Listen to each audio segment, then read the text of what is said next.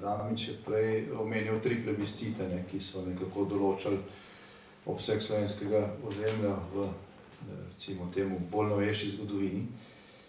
Ta plebiscit o Beneški Sloveniji pred 150 leti, kjer, je, kjer so beneški Slovenci rekel, množično glasovali za Italijo proti Avstriji, takrat so se odločili, niso odločili med Slovenijo in Italijo, ampak med Avstro-Ogrsko in, in oziroma med Avstrijo in in Italijo. Italija je bila takrat v vzponu kot neka država ekspanzije, ki je dosegla tudi vojaške uspehe in so pač prebivalci Benečije čutili bližje.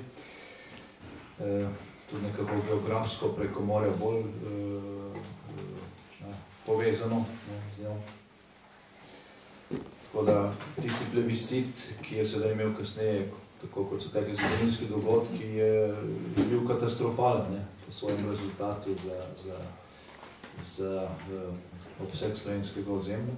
Čeprav se takrat seveda še ni vedelo, kaj bo v prihodnje, ne. Potem je bil pač koroški plebiscit, ki je imel enako katastrofalen rezultat, ne, z, rekel, takojšnjimi učinki, takrat se je bolj vedelo, ne, kaj bo, kaj bo rezultat. Veliko razprav in knjig je bilo napisanih o odgovornosti takratne ljubljanske politike za tak rezultat, ne, in da je kar velika, ne, še večja beograjska. No, in potem tretji plebiscit je bil, ne, bom rekel, pozitiven, ne, zmagovit za samostojno Slovenijo. Vendar smo potem imeli še enega, ne, to je bil, ne, referendum o arbitražnem sporazumu, ki ga Milan ni omenil.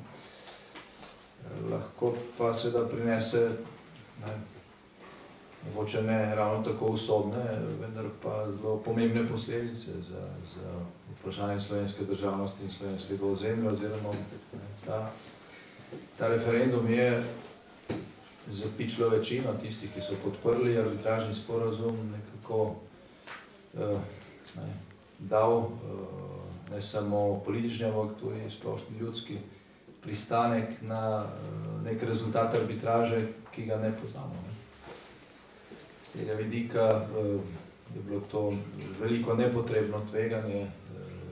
Jaz samo upam, da bo dodatna varovalka, ki smo jo letos sprejeli v parlamentu, in to soglasno, po eni strani vplivala na to, da bo arbitraža takšna, da bo Slovenija dobila neposreden teritorialni stik z odprtim morjem, po drugi strani pa, da bo Slovenija v primeru, če tega ne bo dobila, sposobna vzdržati na tem stališču iz te varovalke, ne, iz tega sklepa državnega zbora, v katerem piše, da v primeru, če nam arbitraža ne določi teritorialnega stika z odprtim morjem, Slovenija te arbitraže ne bo upoštevala. Hrvaška je itak sprejela takšno izjavo v, v času, preden so ratificirali, ne, sporazum. Pri nas se tega niso upali, no, letos, ko je bilo vprašanje memoranduma in posledično tudi odgovornosti za to, da smo prišli takšno situacijo, se za, se nihče ni upal glasovati proti temu sklepu slovenski parlament ga je sprejel soglasno. Jaz samo upam v primeru negativnega rezultata, da, ne, bo dovolj moči v slovenski politiki, da ga, da ta sklep tudi izvede oziroma da zdrži na tem stališču, ne. Sicer bomo, ke bo razmerje med temi zelo pomembnimi plebisciti oziroma glasovanji, referendumi v novejši slovenski zgodovini, ki je zdaj dva ena v škodo Slovenije, ne, postalo tri ena v škodo Slovenije.